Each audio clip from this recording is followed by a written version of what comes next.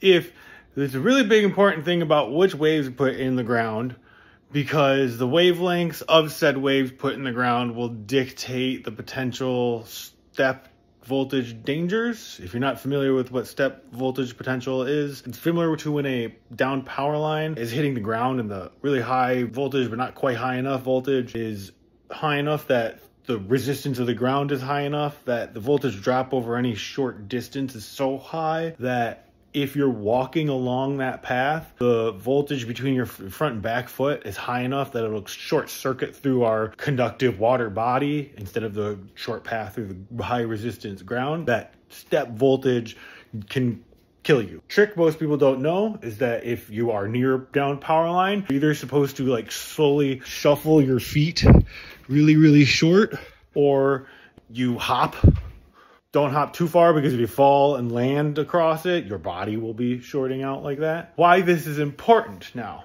This is a big moment. It was kind of really clicked to me. And this might might actually be proof to how long back in time this technology has been used by humans. So the smaller the wavelength, if you're using this this system for wavelengths in the ground, if the wavelength gets too short, where you have a high voltage to a low voltage between your front and back foot, the longer the gait of any animal, the sooner or more likely they are to get hit by these stray voltages. Why this is important is I'm pretty sure this explains just about every single cow mutilation there is out there. Because I think they've been testing this system going, going through the ground and have either been doing like out at Skinwalker Ranch where they put a bunch of cattle in a pen and they call it the bait pen. They were doing target practice with this weaponry because you can basically cause heart attacks on anyone anywhere you want the floor is lava. And by doing so, they were inadvertently sending out stray currents, and I'm sure they probably hit some cows they weren't meaning to hit.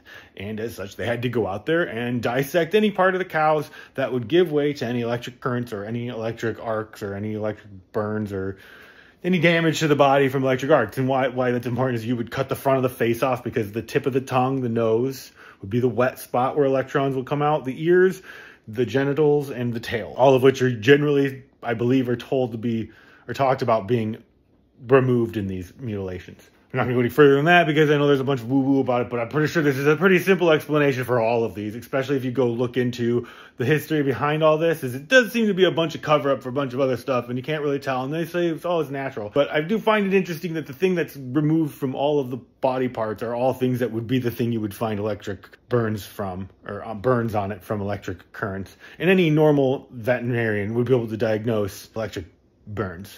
But so we can't explain what happened to all the mammoths? They have the biggest, they would have the biggest gait on this continent.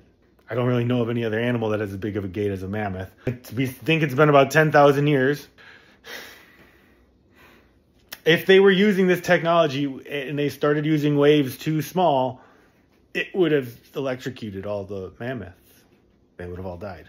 But everything with a shorter leg gait would would stay around. I don't know. It's just uh you know, it just makes me think. Naturally speaking, if these wavelengths were going through the ground and some man-made objects or, or man-made things were doing it or causing it, it would cause electrocution of animals whose gait is long enough to receive that electrocution.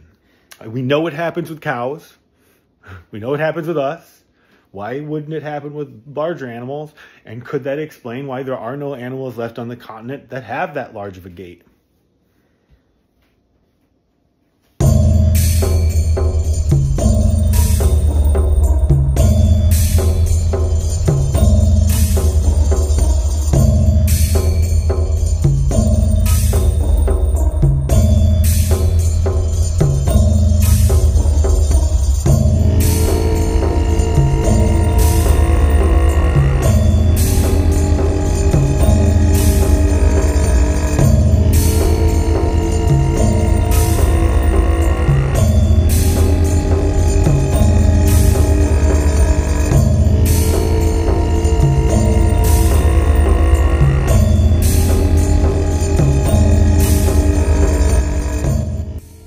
So the whole time editing this film, I'm just like, why the moose? Why did the moose not? Why, why, why would the moose stay? They have horns. They're antlers. It might have been a, a specific arc point that was sharper than anywhere else on their body that if they ever did get electrical potentials going through their body, would come out the antlers.